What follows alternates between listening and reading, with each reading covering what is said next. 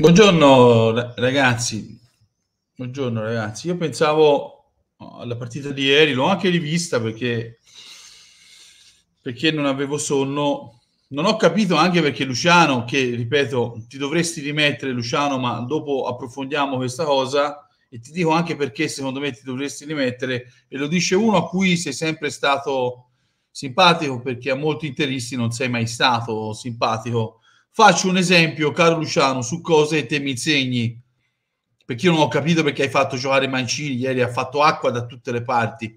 Io non ce l'ho con il ragazzo, senza nulla togliere alla professionalità del ragazzo, come dici tu, perché poi dopo bisogna andare a cogliere, eh Luciano, allora il difens- te hai, hai, tenuto in panchina il miglior centrale difensivo a tre del campionato italiano, che è Buongiorno, che 90 su 100 ormai purtroppo andrà al Napoli perché si parla di 35 milioni più Odgard e quindi Odgard è valutato 8 milioni. Parliamo di un'operazione che supera i 40 milioni e si avvicina ai 45 milioni. Non è fattibile per noi questa operazione attualmente, ma il difensore posizionale, Luciano, quello forte, me lo insegni te, cosa fa? Cosa che non fa né Mancini né, eh, eh, l'ha fatto un po' Calafiori, ma non come lo fa Acerbi e come lo fa Buongiorno. Cosa fa un difensore forte centrale con posizionamento? Cosa fa Luciano? Dimmelo, che lo sai meglio di, di, di me quando è nell'uno contro uno si impiantano con le gambe in terra, praticamente si cementano in terra, fanno forza con le gambe e, e, e stanno giù in terra. Quindi, e quando hanno l'attaccante davanti che li vuole saltare, fanno dei saltellini all'indietro, guardano dritto, guardano palla e attaccante, si impiantano con, le terre te- con i piedi in terra e fanno dei saltellini all'indietro. Fateci caso, ragazzi, perché è una cosa che potete vedere tranquillamente anche voi senza stare a fare professore di calcio, perché io non sono un professore, io non sono nemmeno uno youtuber, io sono un tifoso come voi. Quindi il difensore centrale forte che ha posizionamento tipo buongiorno a Shelby perché è anche un po' calafiori, cosa fa? Quando c'è l'attaccante davanti e lo vuole saltare, si impianta con le gambe in terra, fa forza con le gambe e va indietro con i saltellini, guardando palla, non solo palla e non solo uomo, guardando sia palla che uomo, palla e uomo, il movimento delle gambe. Questo fa un difensore centrale con posizionamento. Al primo poi tentativo di dribbling dell'attaccante, cosa fa un difensore centrale forte con posizionamento e con testa? Al primo tentativo, appena vede che l'attaccante lo vuole saltare, stende la gamba.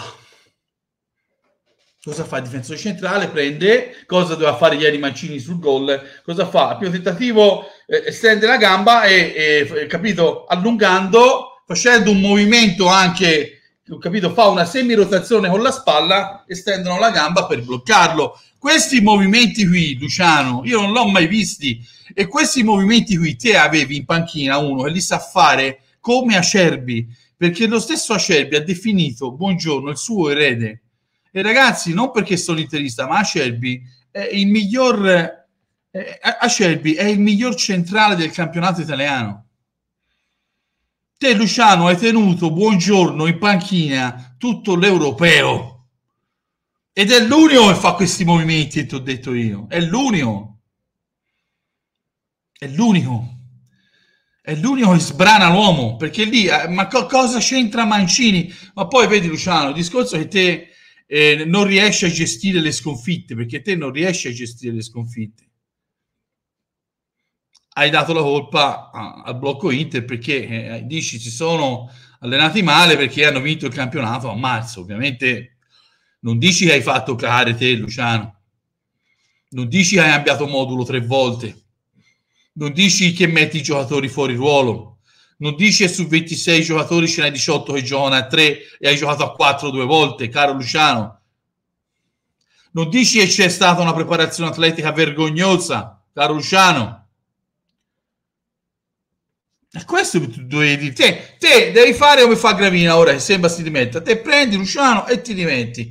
Ma io, ragazzi, se vi ricordate nel video prima del, de, della partita con l'Albania mi fu chiesto di Spalletti. Spalletti io dissi è un allenatore che è fermo dieci anni fa a livello tattico e per fare bene ha bisogno di determinati giocatori in determinati ruoli. A Napoli aveva Schelia, aveva Osimen e Anguissà a centrocampo e qui non ce l'avevi quei giocatori, Luciano.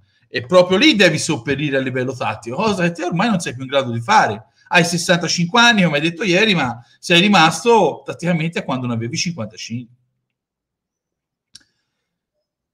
Non è tutta colpa comunque eh, della federazione. Tra l'altro c'era un bellissimo progetto di Roberto Baggio e FGC che è stato fatto fuori, dove addirittura diceva aumentare il rapporto con la palla dei giovani italiani, chiedere più ne vivai, ed è quello che manca, manca il rapporto con la palla, anche perché ragazzi ormai i, ragazzini si sono rincoglioniti tutti con questi social, con questi PlayStation, eh, non escono più, mh, mm, sono rinchiusi in casa, soprattutto quando fa caldo, mentre prima si giocava per strada, imparavi a controllare la palla magari eh, nell'asfalto spaccata, nel brecciolino. Oggi purtroppo no, non ci sono più queste cose qua.